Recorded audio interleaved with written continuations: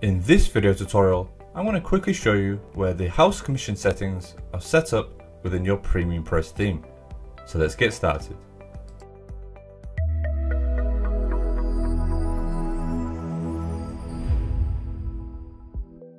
Firstly, log into the admin area of your WordPress website and click on PremiumPress. Now we click on Settings, we scroll all the way down and we click on Listing Settings. From this page, scroll all the way down and if the theme you're using supports house commission options, you should see this section.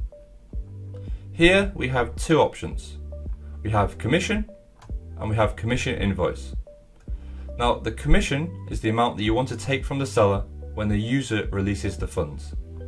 So for example, if a job is $100 and you set the commission for 50, 50%, then you as the website would hold 50%, which would be $50, and obviously the seller would then get percent, which would be another $50. And the commission invoice indicates how you want the payment to be paid to the seller. So if you turn the commission invoices off, then the 50% that's owed to the seller will be credited directly to their account.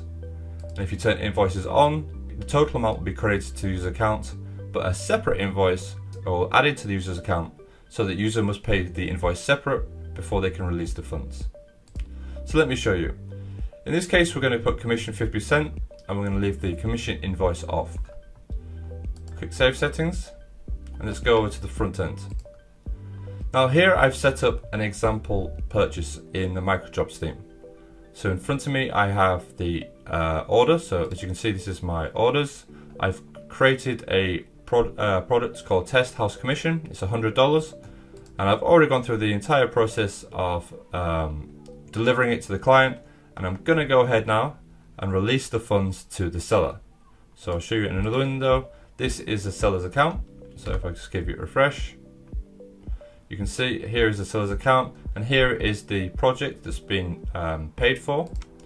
As you can see, the seller is waiting for the funds, so the funds are now pending.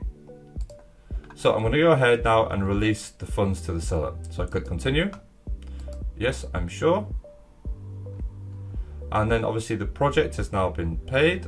If I view the seller's account, you can see in the left hand side, the corner here, new credit has been added. So new credit has been added, house credit has been added to the seller's account.